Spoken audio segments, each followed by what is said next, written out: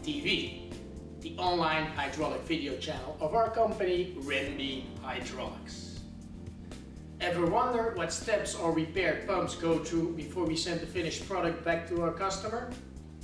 In this video we will follow the complete repair process of a hydraulic pump going from the dismantling up to the last step, the finishing where we paint the pump and after the painting we send the pump back to our customer. In this case, we repaired a Bosch Rexroth A10 VSO 100 open circuit variable piston pump. But rest assured, we can help you with other brands and other types of pumps as well. In this video, we highlighted our hydraulic pump repair division, but we can help you in other fields as well. Next to hydraulic pump repair, we are also specialized in hydraulic cylinder repair, product sales of hydraulic components and spare parts, hydraulic service and maintenance on site, hydraulic system engineering and projects, and sales and service of high pressure, high force tools. For more information about our company's products and services, visit our website www.rem-b.com. Back to the repair subject. Our pump has just arrived in the, in the warehouse and is ready for the first step, the dismantling. Let's have a look.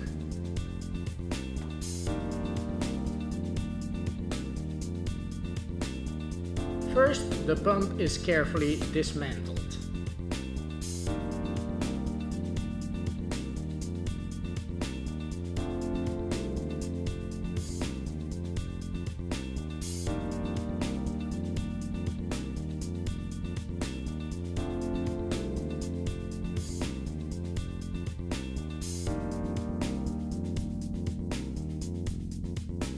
After the disassembly, pictures are taken of all the disassembled parts.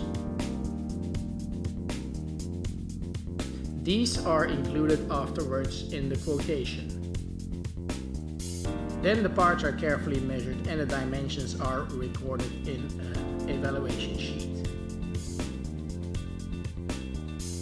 After the dimensions are recorded on the evaluation sheet, we will prepare the quotation. For this, we use our online information portal and web shop REM-B Connect. REM-B Connect gives its users access to 500,000 products with price and lead time and 50,000 parts lists with drawings. Our repair technician can immediately select the parts he needs and send via REM-B Connect an inquiry to our ERP software program. The information is then automatically processed by our computer system and thus the client receives a clear quotation accompanied by photos and a clear description of the co condition of the pump almost instantly.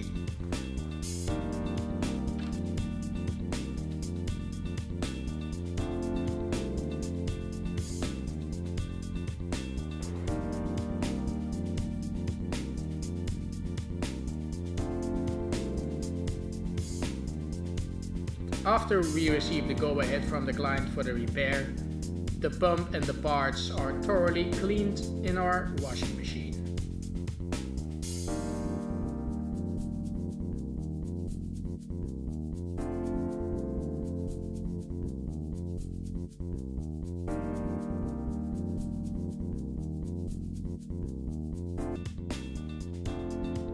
Next, we lap the rotary parts and the end cover.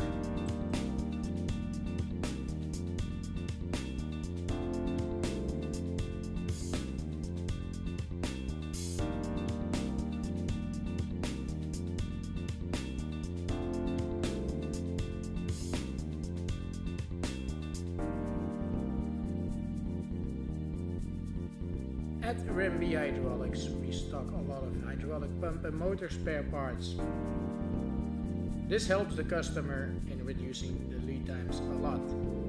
Because a lot of spare parts needed for the repair, we can immediately take from our stock. In our fully automated Kardex inventory systems, you will find mainly original spare parts for Bosch Rexroth and Eaton piston and vane units.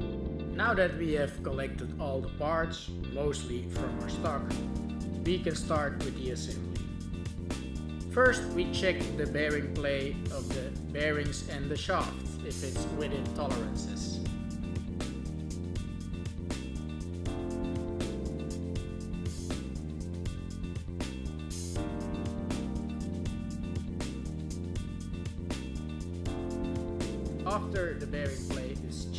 Checked and within tolerance, we installed the rotary parts, the cradle, the bearing liners and all the other parts.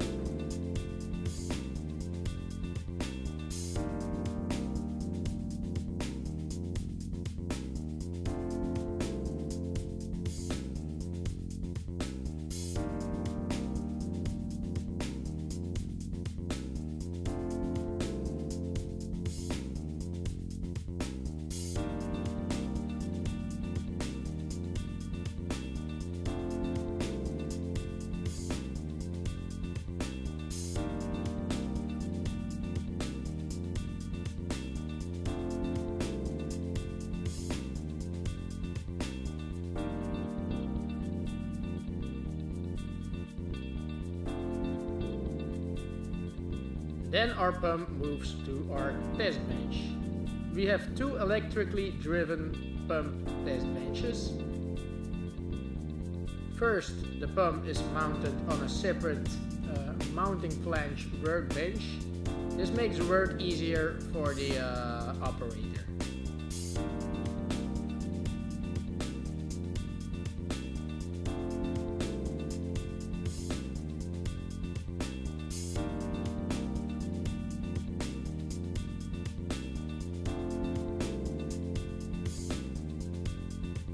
The oil in the testing zone is recovered and recycled and filtered by three CEC Jensen filtration units.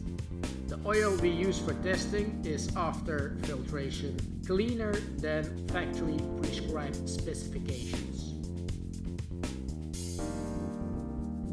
The reason for choosing electrical motors to drive the test bench is more or less ecological as our roof is covered with more than 500 solar panels.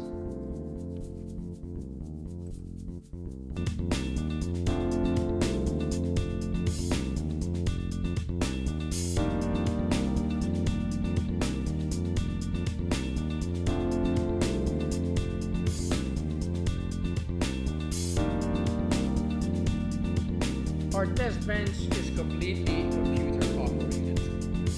Every repaired pump that leaves our workshop is accompanied by a testing graph.